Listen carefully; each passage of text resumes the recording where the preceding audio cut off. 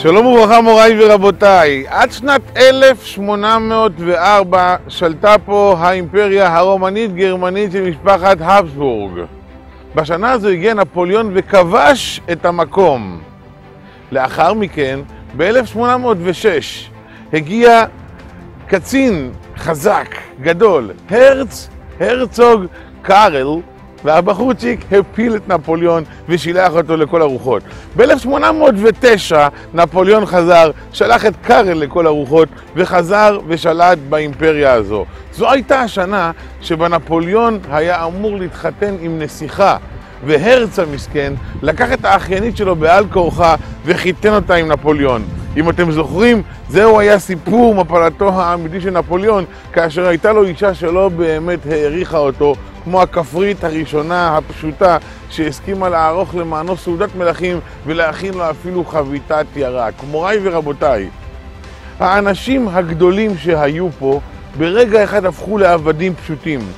הרץ בכדי לשמור על נפשו בחיים, היה צריך לקחת את האחיינית עד לצרפת הרחוקה בכדי להעניק אותה במתנה לנפוליאון, ורק בזכות זה להישאר חי בעולם הזה. אותו אחד ששנים ספורות לפני זה ניצח את נפוליאון והפך אותו למובס. הוא זה שהיה צריך להשפיל את כבודו, ולא רק להעניק את האחיינית לאישה, אלא לנסוע איתה עד לצרפת בכדי להראות את השלמות שבהשפלות. הפסלים עדיין נמצאים פה, החומות והבניינים עדיין קיימים.